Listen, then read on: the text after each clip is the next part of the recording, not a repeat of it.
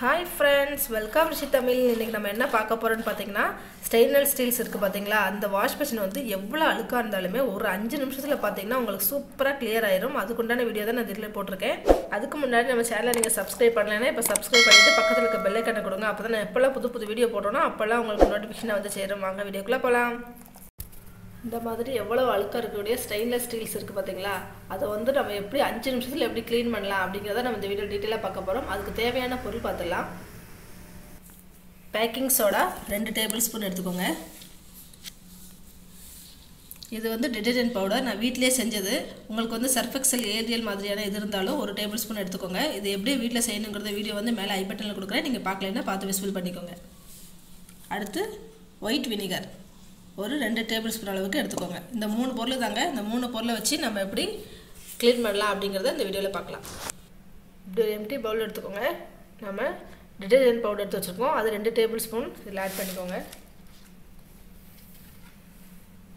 Packing soda ரெண்டு tablespoon எடுத்து வச்சுருக்கோம். அதையும் ஆட் பண்ணிக்கோங்க.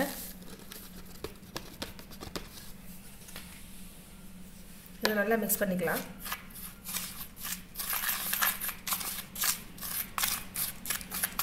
இப்போ இதில் வந்து நம்ம ஒயிட் வினிகர் எடுத்து வச்சுருக்கோம். அதையும் இதில் வந்து கொஞ்சம் கொஞ்சமாக ஆட் பண்ணிக்கலாம். இது ஊற்று ஒயிட் வினிகர் ஊற்றுறவே நல்லா நுர வரும். அதனால் நீங்கள் கொஞ்சம் கொஞ்சமாக ஆட் பண்ணிக்கோங்க.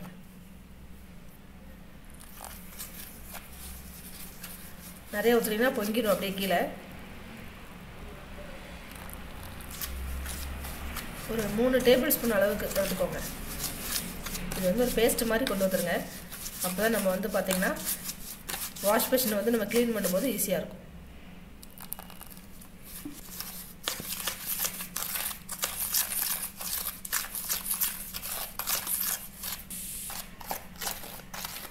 வாங்க நம்ம வந்து ரெடி ஆயிடுச்சு.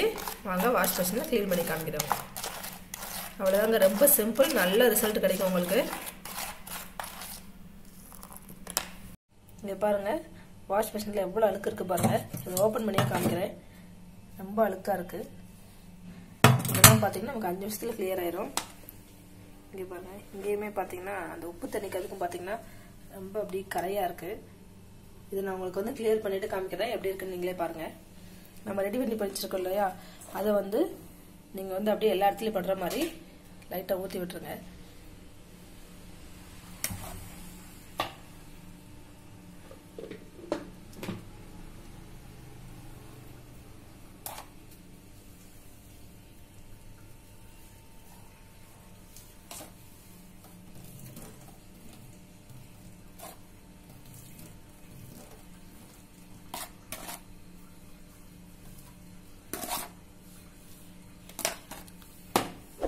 இப்படி ஸ்க்ரப்பர் உங்களுக்கு இரும்பு ஸ்க்ரப்பர் இருந்தாலும் பரவாயில்ல. எந்த ஸ்க்ரப்பர் இருந்தாலும் அதை வச்சு நல்லா நீங்கள் வந்து அப்படியே எல்லா இடத்துலையும் படுற மாதிரி லைட்டாக தேய்ச்சி விடுங்க.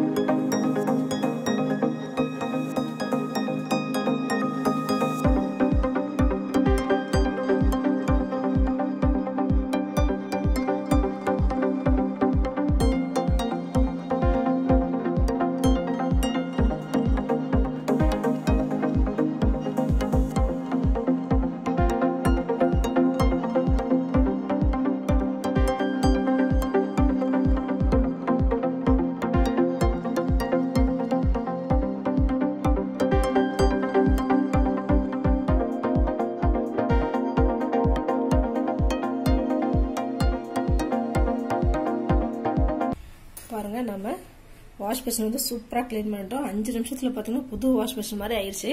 நீங்களும் ட்ரை பண்ணி பாருங்கள் இது பாருங்கள் டைல்ஸ் இருக்கும் பார்த்தீங்களா உங்களுக்கு உப்பு கடைஞ்சு உப்பு படிஞ்ச டைல்ஸ் இருந்துச்சுன்னா அதுக்கு கூட நீங்கள் ட்ரை பண்ணுங்கள் உங்களுக்கு சூப்பராக ரிசல்ட் கிடைக்கும். இந்த டிப் உங்களுக்கு பிடிச்சிருக்குன்னு நினைக்கிறேன். பிடிச்சதுன்னா லைக் பண்ணுங்கள் ஷேர் பண்ணுங்கள் கமெண்ட் பண்ணுங்கள் அப்படியே மறக்காமல் சப்ஸ்கிரைப் பண்ணி வச்சுக்கோங்க. Bye thank you